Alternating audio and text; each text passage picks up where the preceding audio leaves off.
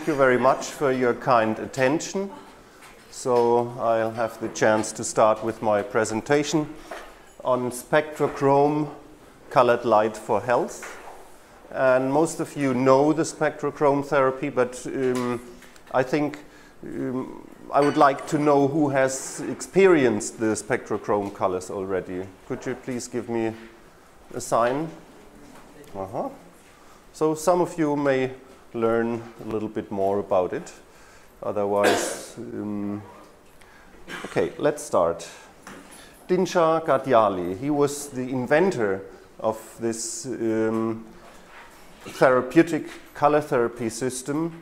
Um, he is, um, had been born in India and half of his life he lived in the United States. He invented this um, system or applied the system the first time in 1897. So, uh, in my opinion, this is the, the eldest uh, systematically um, performed uh, color therapy system as far as I know. And spectrochrome not only is um, treating the eyes as we know it from syntonics, we are treating the eyes and the skin, therefore, we call it systemic chromotherapy. Systemic means that we are treating mainly large areas of our body directly um, shown, the colors directly shown onto the bare skin. Chromotherapy is the medical description for the treatment with colored light. Phototherapy is a more wider uh, expression for this concept. And if you Google chromotherapy or phototherapy, you will find some information on the web. Um, one quite important uh, issue for Dinshah was standardizing the colors he was using because it's mm, useless if you have two, three thousand different shades of red and uh, therapists would like to exchange their experience. It's uh, quite essential that you are talking about the same colors. And we will probably have the chance to um, have a look into this uh, light box I brought with me. Um, this is not a Dinshah light box, and I will explain later where the differences are. But we need a kind of uh, help in uh, order to use this clear and, and bright colors, uh, as our, since our data projector is unable to produce more than grayish use of, of the colors we would like to show uh, or to see. Mm. What we can say that uh, Dinshah's spectrochrome method is a kind of blend or synthesis from Newton's color system, uh, you know all the Newton rainbow colors, seven, seven rainbow colors in the Newton system, and Goethe's uh, color system, which was mainly based on the perception of color, so the interaction between the eye and the brain, resulting in this um, color perception, where uh, we have to mm, look upon certain uh, aspects later. He, Dinshah was not the first uh, performing color therapy or chromotherapy in the late 19th century, mainly in the 20th century. Um, he had uh, important predecessors. We already heard from Brian in the presentation before. For example, General Pleasanton, Seth Pancoast, and Edwin Dwight Babbitt. But these predecessors uh, were using sunlight, filtered sunlight, because they mainly worked before the invention of the um, electrical incandescent light bulb.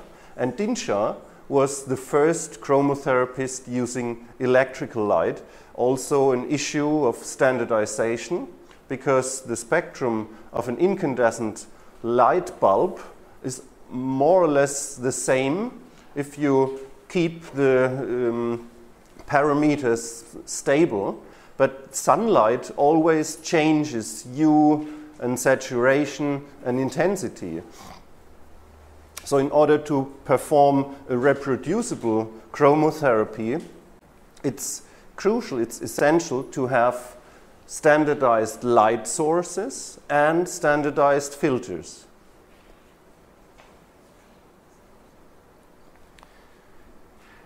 The spectrochrome color properties. This, the spectrochrome colors are produced by using an incandescent lamp and specific filters according to the definitions of the Dinshah Health Society.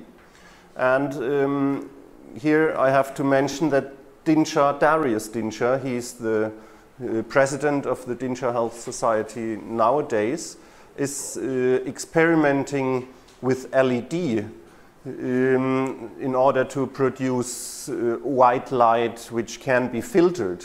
But um, here I think uh, in other uh, aspects uh, the Dinshah Health Society um, is quite rigid in, in terms of uh, integrating new ideas.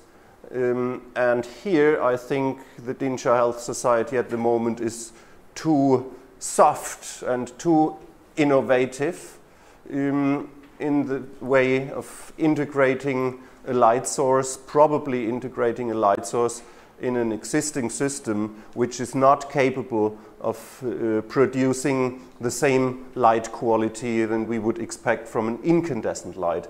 And all the um, colors produced by incandescent light not only have this hue, we can this, this specific color we can perceive with our eyes, we also and always have, oh, by the way, can we switch off the, the fluorescent lights?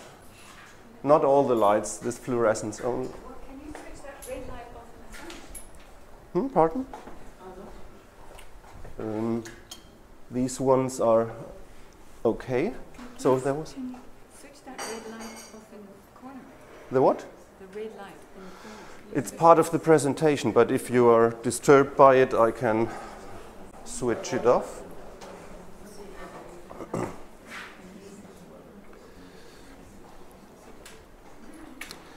So the mm, all incandescent light sources have um, quite strong um, content of near infrared radiation, and so therefore all the experience over the last 110 years had been made with um, color plus near infrared. Because it's mostly impossible to filter these near infrared portions out of the light. And the LEDs, um, the white light LEDs, do not have this um, content of near infrared. And when we are talking about the biophoton theory um, of Fritz Popp, he is talking um, about a controlling level of radiation in the short um, wavelength range and a thermal um, radiation basis, which always comes along with the other kind of radiation. So maybe, and we do not know exactly today, but maybe it's the combination of specific visible color and near infrared radiation, which makes the color or chromotherapy work as we expected uh, to work in our system. The spectrochrome colors are highly saturated, and this is uh, important not only to achieve a maximum efficiency, it's also um, important to achieve reproducibility of the color effect. And we will talk about this in a few minutes uh, much more in detail.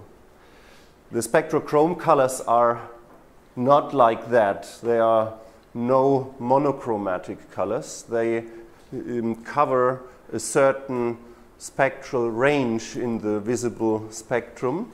So they are polychromatic. And um, when we are mm, thinking about the reason why colors um, have an effect on the cellular level, for example, then we mm, have to look, look upon uh, absorption of specific um, wavelengths in pigments.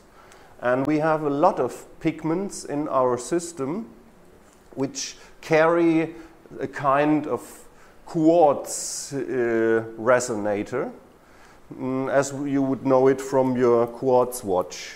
So there's a, a time basis, um, a high frequency time basis, which is attuned to a very specific frequency, like you would know it from a tuning fork. And the tuning forks in most of the pigments in our body, or the most important pigments, carry tuning forks in, uh, in the form of metal ions.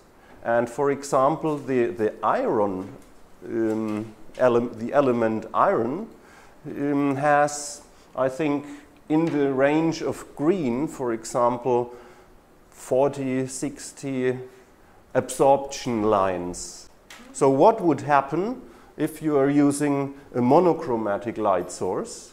you only would address one of these absorption lines, but not the whole bunch of them. So, in my understanding, there is a kind of uh, intrinsic intelligence in each single cell which is able to make a selection um, which kind of wavelengths will be absorbed and which will be repelled.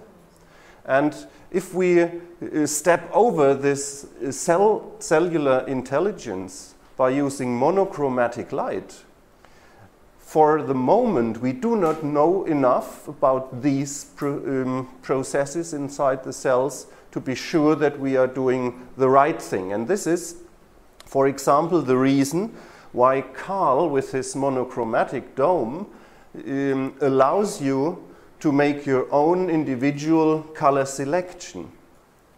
So you are not forced to use a certain color, you are free in your choice. And this is a quite important issue. Dinshah says use this color in this uh, case of disorder, and in doubt use green. And there is a question from Jacob. We see this in medicine. Medicine you looks for what they call the active ingredient, which is like looking for the monochromatic source. Whenever you just treat with the active ingredient, you create side effects. Exactly. Right. Thank you. Saturated colors have opposite characteristics compared to the non-saturated ones. So as long as we are talking about blue, we do not exactly know what we are talking about because we have dark blue, we have light blue, we have the blue of the sky, we have indigo blue of some, some tint pigments. So there's a difference in the activity and in the physiological effects. For example, blue sky or fluorescent light is activating, especially when, when it has a, a certain intensity and dark blue colors are calming. So always, we have always uh, take into account the intensity, the saturation, if we want to know about the physiological effect.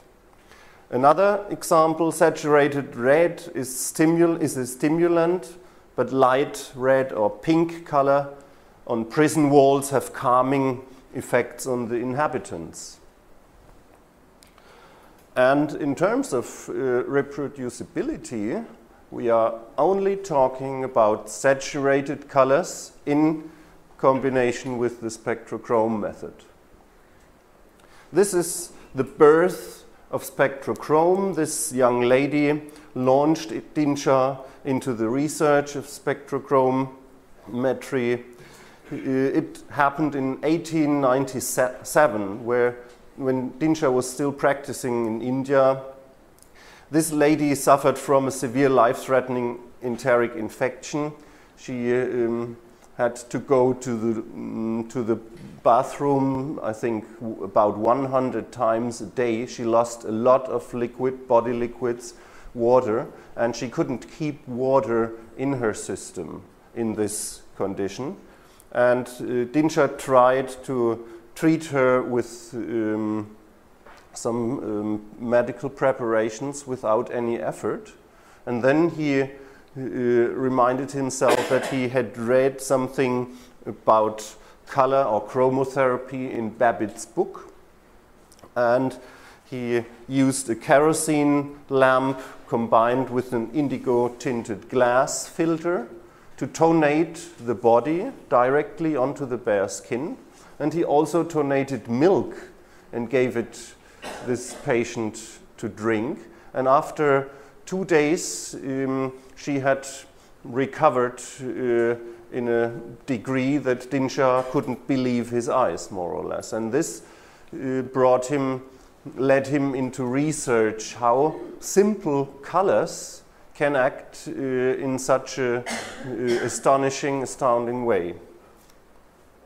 And today the um, spectrochrome system not only works with tonating the skin, you also can tonate or radiate the or shine the light on water and drink this water. This is especially um, important if you have to administer the color uh, at a certain um, specific, specifically defined daytime. And you cannot tonate yourself uh, in the office, but you can drink the color charged water at this specific time. Lisbeth, you have a question? Yes, uh, the sunshine, so the, the light of sunshine on water, is that something special? Does it change the water? Is it good to do, to have it in a, a glass bottle and sunshine? It certainly has an effect, but not a specific effect uh, in terms of chromotherapy. But uh, what uh, a clever guy found out that this polyethylene or uh, plastic bottles, if you put water into these plastic bottles and put the water into the sun, you have a disinfecting um, effect on the water, which would be a great idea for the third world. Mm, it would not work with glass bottles, by the way, but the plastic is transparent for ultraviolet radiation and the ultraviolet rays, as we talked about uh, yesterday, Downs and Blunt were experimenting with uh, killing bacteria using ultraviolet light, and this is the way to do it nowadays. There is a question?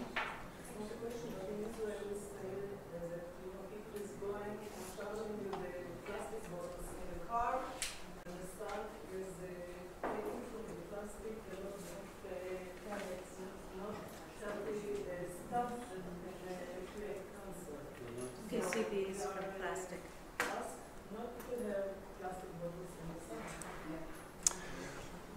Yeah, um, if the plastic is not a clean one, uh, there are emanations. But you have to decide if you would like to die from cancer after 10 years of drinking water from a bottle or of a colitis uh, or enteritis of, uh, in, in case of drinking dirty water, um, which is um, filled with, with bacteria.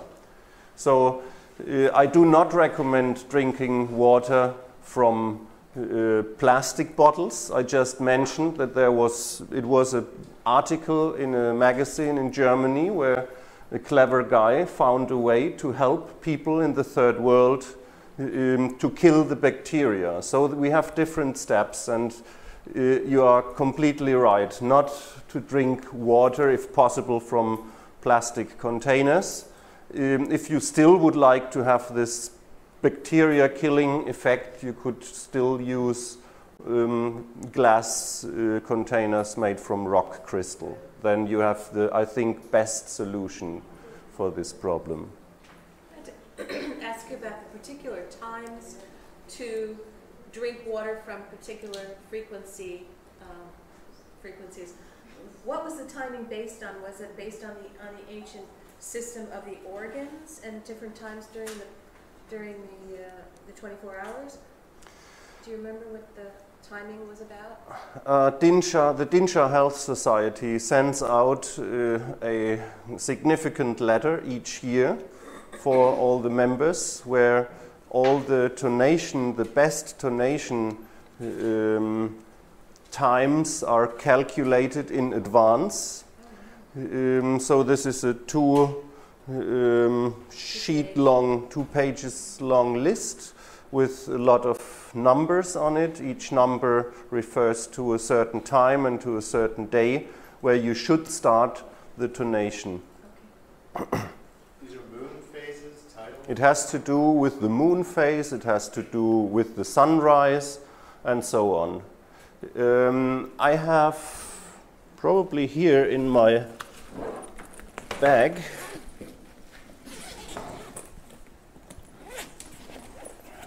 some books where you can learn about more on that topic. This is the Spectrochrometry Encyclopedia and the Let There Be Light um, handbook practical manual for spectrochrome therapy. And as I already said, um, if you become a member of the Dinshah Health Society, I think it's just $3 a year, then you will receive the uh, newsletters and also this um, predicted uh, mm, tonation time sheets every year. Dinshah started uh, after 23 years of research. He, the first um, had been performed in 1897, and in 1920 he started to travel around the world, mainly in United States, but also in the rest of the world, teaching spectrochrome.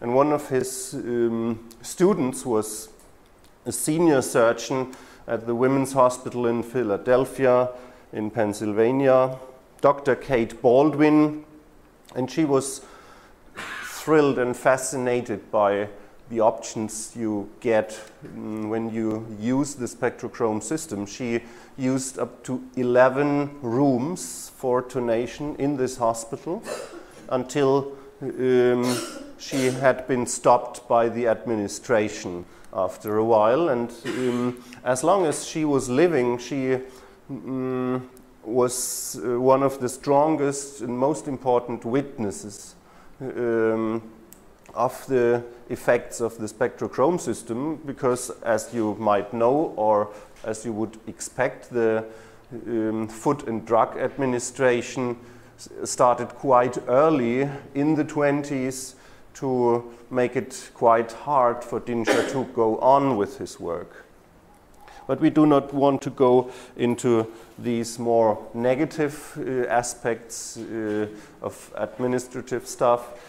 These, the following um, slides are um, a little bit challenging for those who are not used to see um, burns, skin burns. And this is the case of Grace Sherlow. We can skip this more or less, but what oh, probably some more information in detail. 80% uh, of her body had been burned at a degree of at the third, third and fourth degree. Third degree is already quite severe or very severe, and more than 15% of the body surface can be uh, life-threatening even today. The problem, what is the problem uh, we find in the, physiologic, in the physiological level of our body in case of uh, such a severe skin burn? It's not only the loss of um, shielding and protection from outer um, aggressive bacteria, virus, uh, viruses, and so on. Also, um, you find um, tremendous loss of water, which is um, evaporating from the body, and the destroyed cell fragments, they tend to um, block um, the kidneys. So people with such a um, severe um, skin burn would die normally from inner intoxication.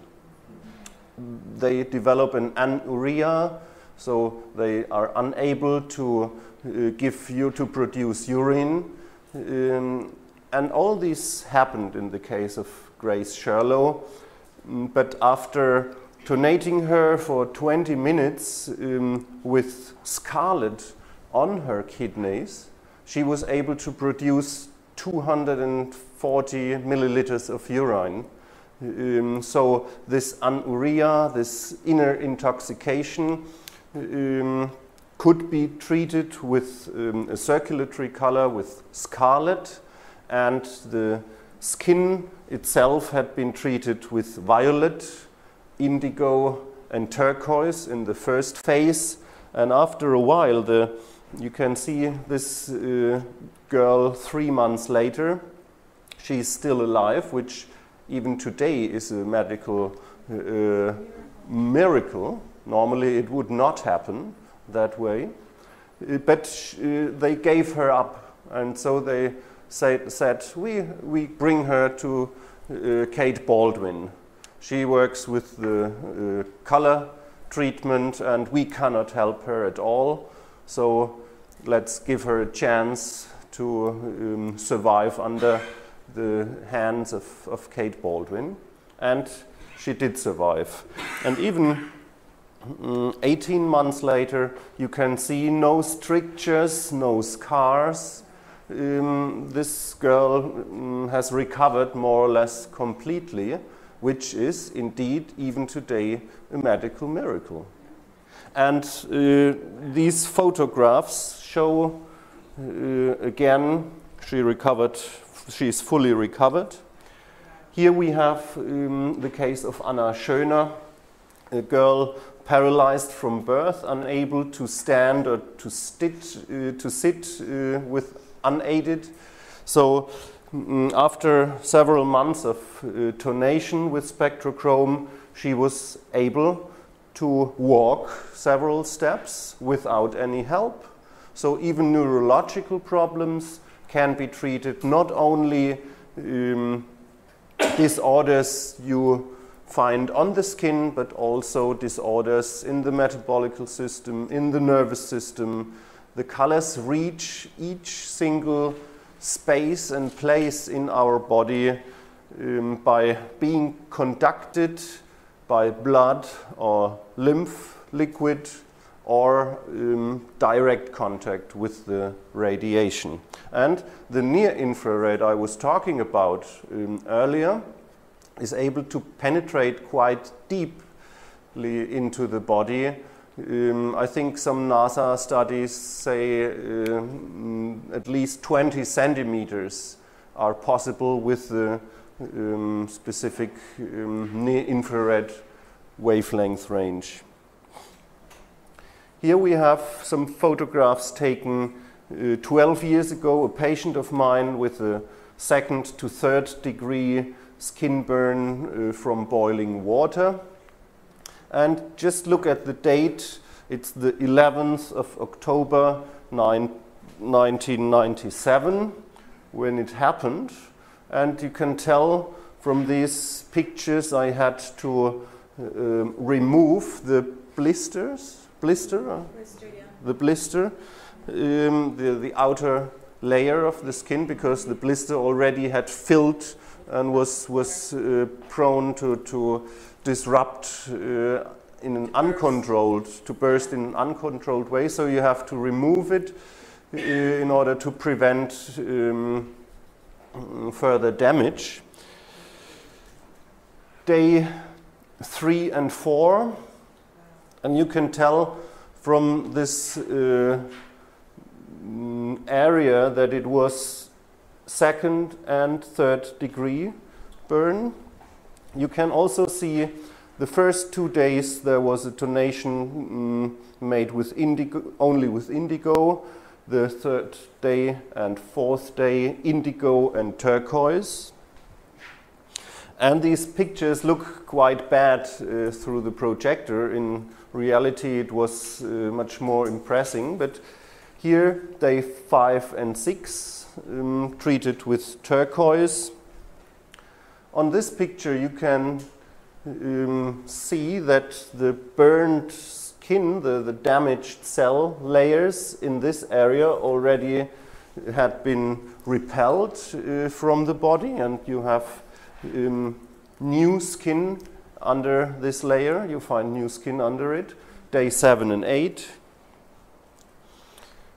Day 11 and 12. Day 15 and 17. And uh, if you disregard this little spot, you could say uh, it's a it's a restitution ad integrum, so it's fully healed up after two weeks of treatment with color. Like We had no taping, no creams, no uh, nothing else, no chemicals, only treated with um, about two times uh, 20 for 20 minutes. Twice a day. Uh, directly uh, after, when, when a skin burn uh, happens, you would normally treat with uh, the short wave with the ultra green colors, violet or indigo, um, as long as you feel that something is going on in this area, and you definitely feel it. I made this experience several times uh, when I had contact um, with my soldering iron um, or with an incandescent lamp, for example, which causes also skin burns when you have deep contact with it. And um, what I can tell from my personal experience that it starts tickling and it's not quite comfortable during the uh, tonation. But once you remove the color tonation unit, um, it immediately stops tickling. But when you retonate and it feels like being activated again, this is the sure the, the sign that you should continue with the tonation. And in certain disorders, like we find it in, in these emergency cases of skin burn, it's clever to tonate as long as this tickling effect reoccurs after um, a break of tonating in order to prevent uh, the building up of blister and the filling uh, up of blisters because the skin is the best protection layer and we want to keep it. And this means if you prevent the skin from building up blisters, you have to be careful with water for the next few days. You should not sweat, you should avoid sweating in this area. Um, but if you made it for four or, or five days mm, that way, then the problem really is solved. I'm treating the skin. Yeah. Because through the eyes you cannot make sure that enough of the um, photonic information gets there. Because you have completely changed uh, circulatory situations in, in this area. And it's a classical case of tonating directly on the bare skin. You're using your light device about 10 centimeters away. Is that when you tonate? It depends. The, there are different devices. You have flash, uh, flashlight-like devices, um, and pardon. What bulb are you using? Always incandescent light bulbs, And the filter? and the Roscolene filters uh, recommended by the Dinshah Health Society. So there is um, a the, the mm, attempt to standardize the colors nowadays because since I think 1940s um, it is prohibited for Dinshah Health Society for Dinshah it was not allow- he was not allowed to sell um, color filters or to sell his, his appliances. Um, these were FDA regulations, um, so he could not um, sell the standardized filters. And after his death, the sons um, created the uh, or founded the Dinshah Health Society, and they give recommendations which filters to use. And these filters you can purchase from any uh, lighting store or you can order them at certain mm, manufacturers. But it's only the Rosco company producing um, polyethylene based filters uh, which give finally give the um, spectrochrome colors. But um, you have to combine up to three of these uh, specific filters in order to get the correct uh, color hue and saturation. You use diffusing filters? Pardon? Do you use a diffusing filter? Yes, I do because if you want to treat large areas of this of the body, you have to diffuse uh, to widen up the the angle and uh, diffusing filter should not change the color hue and the spectral distribution, but it widens up the tonation field so that you can comfortably tonate yourself from a distance of 50 centimeters up to one meter is enough to treat the whole body. Um, When you did, like, uh, have you ever done it when you did just directly on the skin and through the eyes treatment during the same time? It does not uh, disturb and it often uh, increases uh, or enhances um, the color effect if you also look into the color with your eyes, but it always should be comfortable. And um, sometimes, especially when you're using bright colors like uh, yellow, um, then it can be too much uh, looking into the light source. Um, in opposition to, to uh, syntonics, we need a little bit more um, intensity, light intensity. Mm, it's not only a psychological effect, uh, it has also to do with penetration of the color. Um, and if it's too bright, if it's uncomfortable, you mm, easily can close your eyes. You may close your eyes, but you do not have to.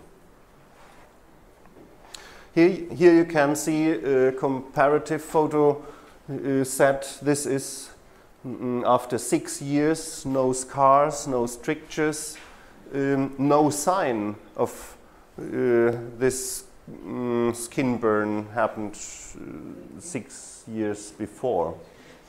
And this is how a skin burn can also look like if it's not treated like that. You can find infections. It, mm, from my experience, might take around six weeks uh, if you have no um, no severe infections until a skin burn like that is healed up normally. So you can help your patients quite a lot um, when you think about the spectrochrome properties. Now we go into the system of spectrochrome colors. We have um, not only seven colors, like you would expect them from the rainbow spectrum of Newton. Can you tell me which are the ones uh, being added by Dinshah? No, no, we are not talking about the these three.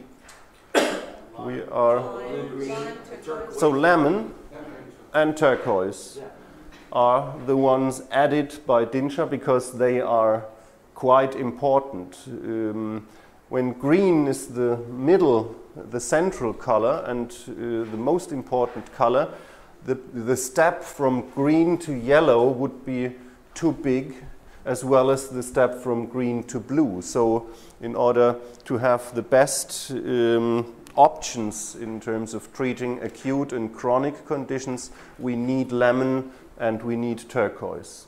And um, you can look at these um, arrows from coming from the center of this circle, and the length of the arrow uh, explains to you the heating intensity or the cooling intensity.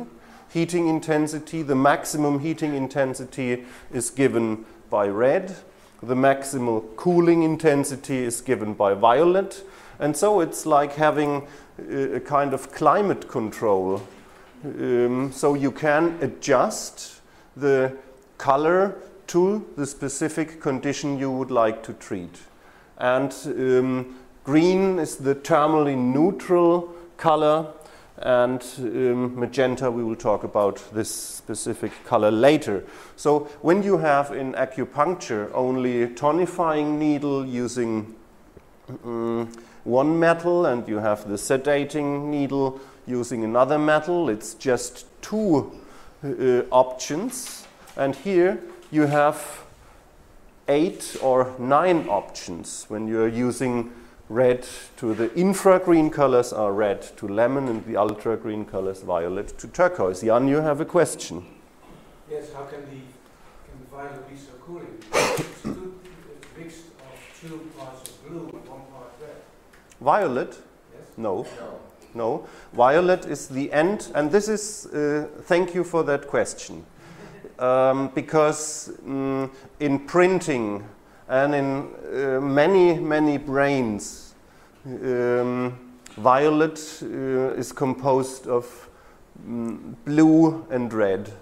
But violet is the end, the short wavelength end of the rainbow spectrum. It, it, it contains no red at all.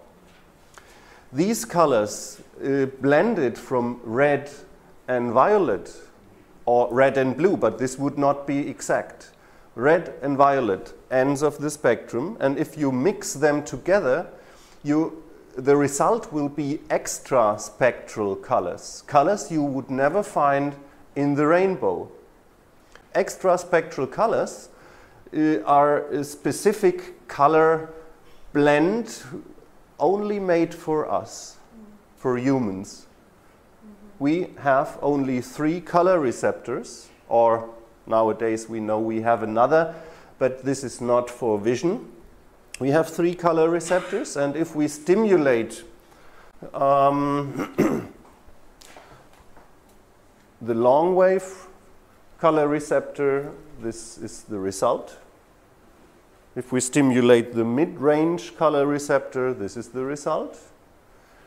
And the shortwave color receptor, this is the result. Or it would be, this is not really violet. And here we have the problem that violet radiation from an LED is so aggressive to the eye, to the retinal structures, that I wouldn't dare to integrate it into a system like that.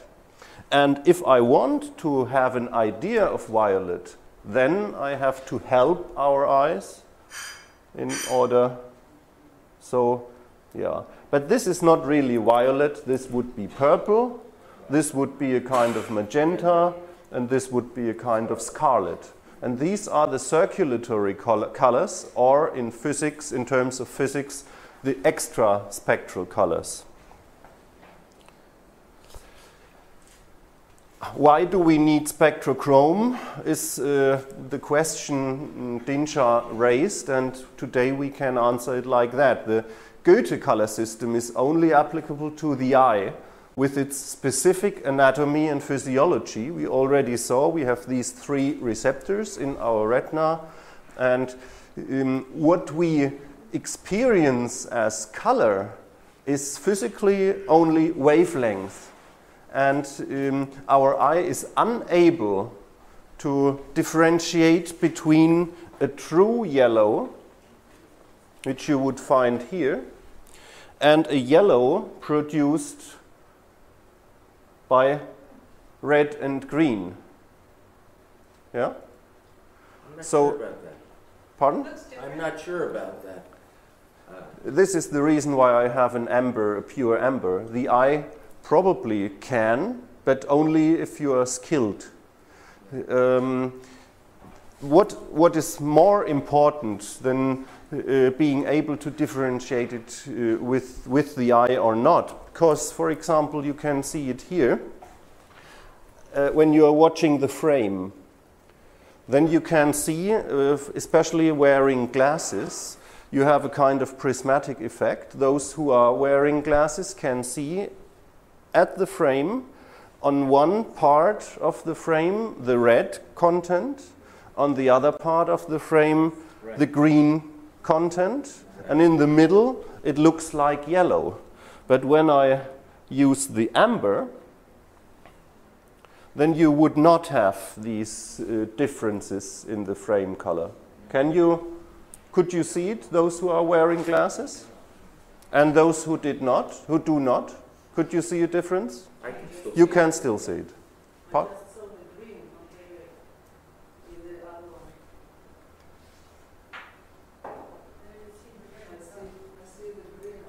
Uh-huh. So you see a difference uh, between the color of the frame and the plate in the middle. Okay. So beside or outside the eye there is no color, there is only wavelengths. And color perception results from cooperation of retina and brain. Electromagnetic waves show different primary effects on the cellular level compared to the colors we perceive with our eyes, and color impression is a secondary effect. Spectrochrome not only acts via the eye, but also on the cellular level, and this is the reason why we needed the spectrochrome. We couldn't do everything with Newton, because in the Newton system we do not have the circulatory colors, purple, magenta, and scarlet, and we miss lemon and turquoise, and these are physiologically important colors we had to add to the system, and this is the blend or the mixture of Goethe and Newton, more or less. And Dinshah wanted to have a symmetrical, balanced system, and therefore he needed these 12 colors in total to get this specific color wheel spectrochrome color system. Here, um, the same as I told you before, now uh, on a slide, hue, saturation, and physiological effect.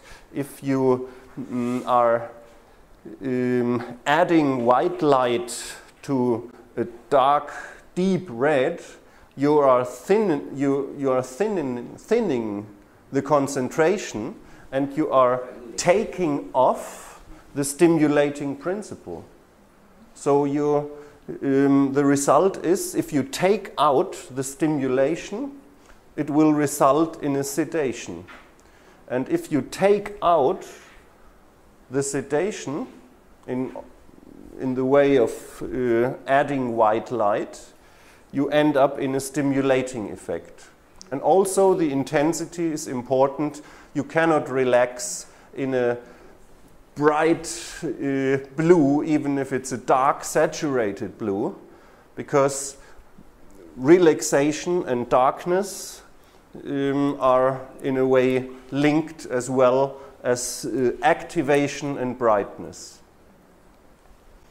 And by the way, Finsen was working on this topic uh, also. He tried to find out the reactions of earthworms, for example, under red light and under blue light. And under natural situations, we have this link between um, blue and brightness and red and darkness. The natural situation would be described here. The characteristics of physiological color effects, the infragreen colors are becoming stronger and stronger when we come from the green, from the center of um, the um, spectral colors.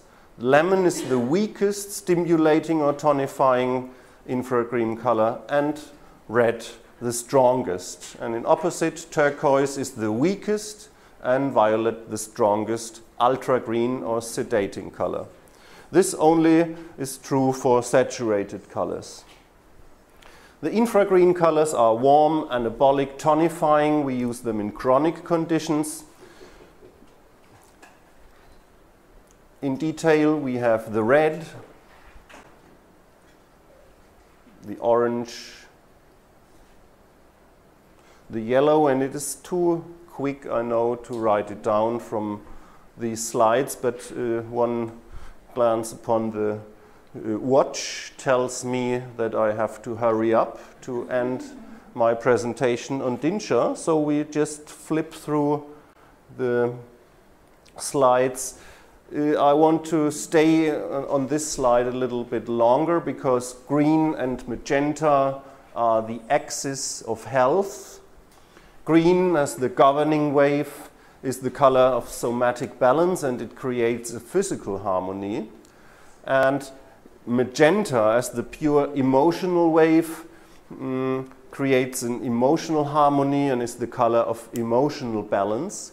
And especially when we start treating someone with chronic conditions, we use green and magenta for at least one week to bring back the ability of reacting to specific other colors to bring back this ability into the system. So axis of health, green and magenta. Here we have the magical color of green. This is the mm, center of our rainbow and this is the color which equilibrates the pituitary and the midbrain uh, area and therefore it harmonizes our system also on an endocrine level. The ultra-green colors are cool, catabolic, and sedative, and we use them in acute conditions. So if something, something evolves which hadn't been there yesterday, we start with turquoise.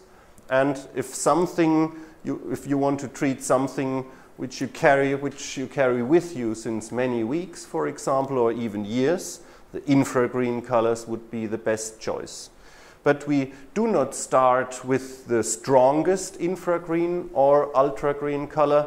In acute conditions, we start with the turquoise, and in chronic conditions, we start tonating with the lemon.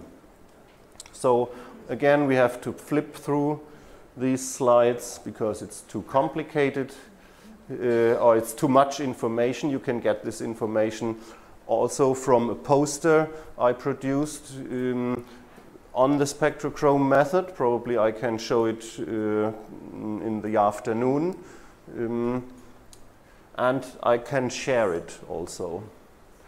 Uh, the circulatory colors, purple, magenta, and scarlet, are blends of red and violet.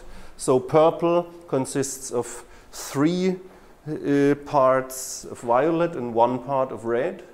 And scarlet consists of three part of red and one part of violet. And magenta is the balanced blend, 50% violet and 50% red. And we address the sympathetic nervous system with the red content of red. We address the parasympathetic nervous system with the violet.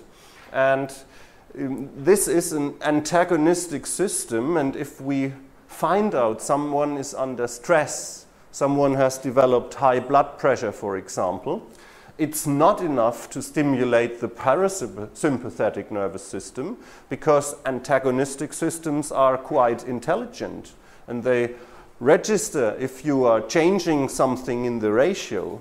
So it's the better and more clever way to um, address the ratio to tell the system make the sympathetic nervous system as strong as the parasympathetic nervous system. In that case, you have no counteraction in the intelligent regula regulatory system, and therefore these circulatory colors are quite important and they are called pure emotion or emotional colors addressing our emotions. The heart rate and the blood pressure are deeply linked with our emotions. And um, therefore, we also can use these circulatory colors for treating mental, uh, physiological, uh, or emotional disorders. Purple, Again, the magenta, you know this slide from several slides before, the axis of health. If you want, just want to balance the system, use one time a day the green and one time a day the magenta. And now we come to the tonation technique. In acute disorders, start with green and blue. If the time, if you do not have enough time, you can replace green and blue by turquoise. In chronic disorders, start with green and magenta, and after one week, continue with a specific tonation plan which addresses the particular problem which is left after this week or the problems. Tonate directly onto bare skin, switch off all other light sources in order not to thin out the concentration, to, in order not to change the saturation, and keep the tonation room at a comfortable temperature level, about 25 degrees of Celsius. Mm, two times 30 to 60 minutes in 24 hours in case of severe disorder. Um, the, we could also understand uh, these tonation situations as uh, kind of re-establishing rhythmicity or re-establishing a rhythm. If the rhythm gets lost, we are prone to develop diseases. So re-establishing chronobiological rhythms is something quite important. And we can do this by tonating one time mm, during the day and one tonation during the nighttime. And we should be aware that the infragreen colors are stimulating, so they fit best to daytime tonations, and the ultragreen colors are best for nighttime tonations. And also, the circulatory colors are very good to use them during the evening or during the night. Oh, ready. Thank you very much.